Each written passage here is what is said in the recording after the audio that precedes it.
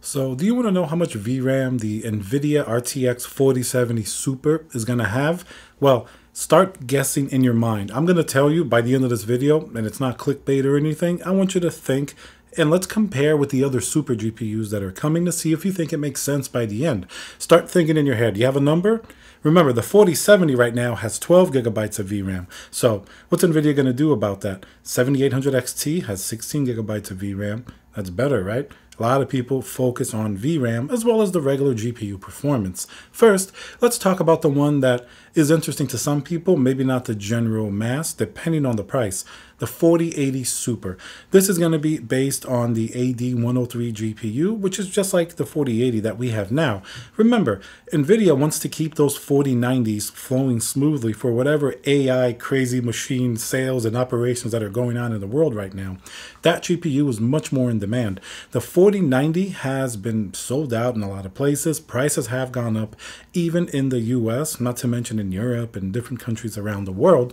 So 4090 is still fairly much in demand because of AI. And obviously, for gaming purposes, if you throw your budget out the window, it is the best. What are you going to do? You have the you know the AMD 7900 XTX, but that one it's still not the same as an RTX 4090. And now let's hear a word from our sponsor, VIP-CDKdeals.com, a Windows 10 Pro CD key. Add to cart, you put in code CC20. This will also work on Windows 11. You want to go into your settings in Windows, change and adjust your CD key, click activate, and now let's go back to the video. So then the 4080 Super, we think it's going to have maybe 16 gigabytes of VRAM. That's the exact same amount amount as the existing 4080. Now, that's not necessarily a bad thing. 16 gigabytes is more than sufficient for 1440p, and it's pretty adequate, if not completely adequate in 4K.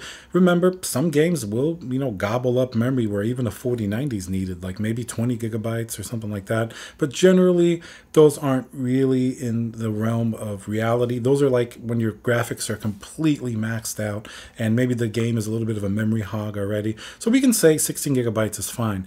Obviously, a little more CUDA cores. It's going to be a little bit faster than a 4080, not quite a 4090. The only thing that I really have to say about a 4080 Super, what's the price going to be? 1199 is eh, still a little too expensive. Obviously, $999 would make it an amazing GPU. Are you kidding me? A GPU that's better than a 4080 and almost as good as a 4090, or at least in the middle? $999, even in the current economic climate, that seems like a really good deal. Then it would completely destroy the 7900 XTX in both ray tracing, rasterization, probably, even though the 7900 XTX does beat a 4090 once in a while, it would anyway up the argument with the DLSS 3 and things like that. Judging by how NVIDIA is not really rushing to sell GPUs with the AI craze going on and everything else, you could probably factor 11.99 if they don't even raise it a little bit to like 12.99 but who knows? Maybe 11.99 seems reasonable enough. The second gpu now this one is interesting. 4070 ti super. I mean it has even two names at the end of it so that's really unique. I haven't really seen that before. This one allegedly is coming with 16 gigabytes of vram whoa what's going on here it's not a 4080 right 16 gigabytes of VRAM. That's going to be very, very interesting. Depending on the price, if it's 799 like the 4070 Ti now, maybe that might be just as good as a $999 4080 Super, right? Because that's going to be really, really performing very, very well, probably very close to a 4080, and it's going to have 16 gigabytes of VRAM. That one, I don't know. It's hard for me to see Nvidia pricing it at 799. I could see that being $999 if Nvidia really wants to stick the knife in in terms of the pricing. I don't know about 899, something like that. But anyway, 16 gigabytes of VRAM. Now that is something that a high-end GPU like that would deserve. I never liked the 12 gigabytes of VRAM on the 4070 Ti when it's $800 plus. So if they do that, that's going to be a lot more, you know, well-rounded. And of course, it lets them compete much better with AMD's offerings like the 7900 XT, 7800 XT, even though that's considerably cheaper, that has 16 gigabytes of VRAM. So then we get to the 4070. The 4070 Super, supposedly, from what we can see in some leaks and things like that, it's gonna have 12 gigabytes of VRAM. See, that wasn't so hard. Now, going to 16 would have been cool, if you will, so it matches the 4070 Ti Super, but that's something that NVIDIA I don't even think really needs to do. Just having more CUDA cores, faster rasterization, and pushing ray tracing and DLSS 3 that's going to be enough, I think, for that GPU to dominate the 7800 XT. Right now, the 7800 XT is really close to the 4070, especially considering 4070 is 599 and the AMD 7800 XT is 499. Now, would NVIDIA flat out price a 4070 Super at 599? with more CUDA cores, even though it has the same VRAM, and then just, you know, make the regular 4070 cheaper or obsolete that could definitely be something that happens. They could also price it higher.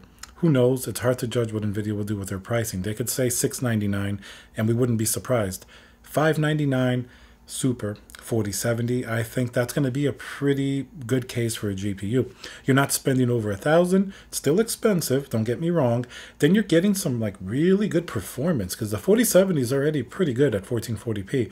A 4070 Super, if it does have some nice gains over a 4070, even with the same 12 gigabytes of VRAM, for 1440p, that's going to be the GPU to buy, probably at 599 with much better performance.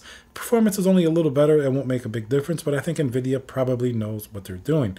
And then that's going to basically round off these GPUs that are coming. So what do you guys think? You think that seems fair? Maybe a faster 4070 Super, same amount of VRAM. 4070 Ti with more VRAM, that's an interesting one. And then the 4080 Super, same VRAM, a little bit better performance. It's going to be kind of like, eh, who knows? It will depend on the pricing. Pricing obviously will be the big, you know, factor. Nvidia can see how the market is. They know by now that not that many people are buying gaming GPUs compared to before. So they've had time to adjust. Are they going to give us cheaper pricing? That's what we really have to wait and see. All right, guys, remember to subscribe, smash that like button, and I'll see you guys on the next video.